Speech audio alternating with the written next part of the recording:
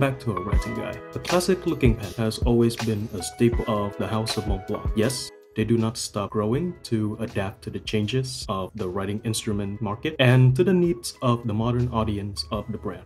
In this review, we're going to take a look at one of the younger series of pens from their lineup, the Starwalker Fountain Pen.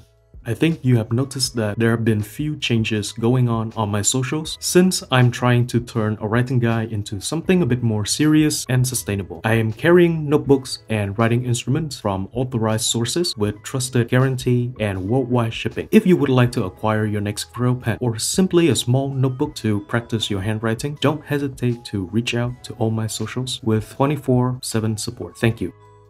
The first Starwalker pens, released in 2003, challenged us to look deep into space and beyond. It was no surprise when first release models were made black with glossy piano finish and a hovering Montblanc star inside a piece of domed crystal. In some special editions, the star will also be replaced into a synthetic diamond cut into the house signature star, or snow, whatever you want to call it.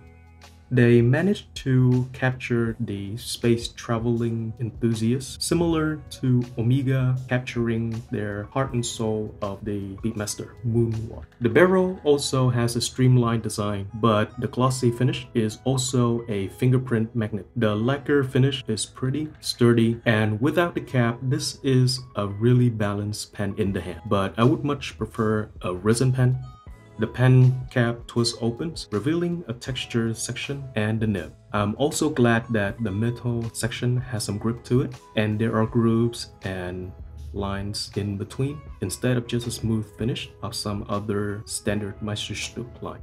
The section is girthy enough for most fountain pen users and this material is prone to flaking off and if you expose it to ink and other liquid. The heart of the pen is also carrying the tubular silhouette similar to the pen in the late 60s with the Bauhaus school of design. The nib is moderately ornated with the Montblanc star with minimal hallmarks of the 14K gold that made up the nib. The accompanying feed is also reimagined from the traditional fountain pen feed. Similar to modern Montblanc nibs, the Starwalker is a stellar writer with a touch of line variation. However, for long writing section, the firmness of the nib may cause some discomfort or finger fatigue if you grip it too hard for a long period of time.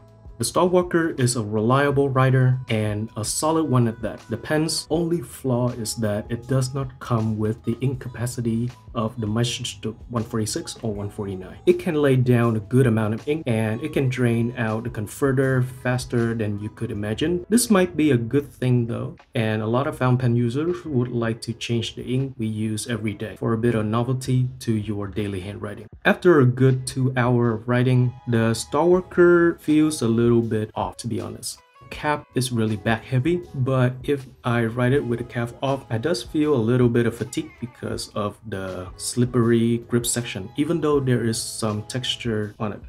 To be honest, the Starwalker is more of a signature pen, more than a uh, long marathon runner writing kind of pen. It is well tuned and somewhat balanced and ex as expected from any Montblanc. It's also a conversational starter with that striking crystal on the cap. The true value of this pen may come from just being Montblanc alone, yet its price might be a bit high and a little bit of an obstacle for the casual fountain pen enthusiast. And please let me know your thoughts down below. Do you have a Starwalker in your collection or would you plan to add one to your own personal pen stash? Thank you for watching and I'll see you in the next one.